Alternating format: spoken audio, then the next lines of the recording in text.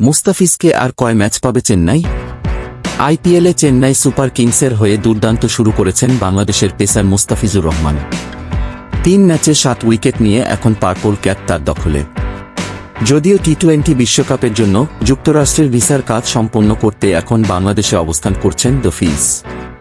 ফলে আগামী দুই ম্যাচে মুস্তাফিজকে পাবে না চেন্নাই।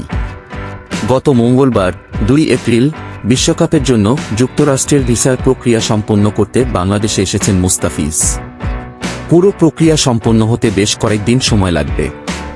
বিসিবির এক সূত্রে জানা গেছে, যুক্তরাষ্ট্রের ভিসার জন্য বৃহস্পতিবার বায়োমেট্রিক্স সম্পন্ন করা হবে। পরের দুই দিন সাপ্তাহিক ছুটি।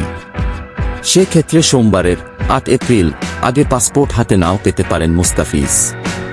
ফলে পাঁচ ও আট তারিখের ম্যাচে মুস্তাফিজকে পাবে না চেন্নাই।